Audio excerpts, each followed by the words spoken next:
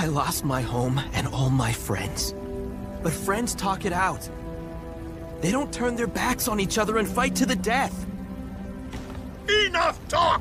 Light this box up! Full volley! Stop!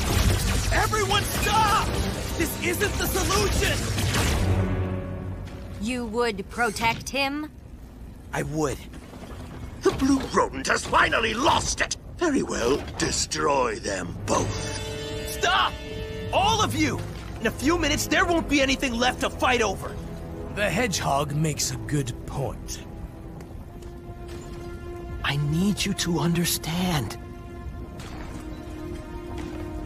Their worlds have been shattered, their homes destroyed. The same thing is happening here. How do we stop this?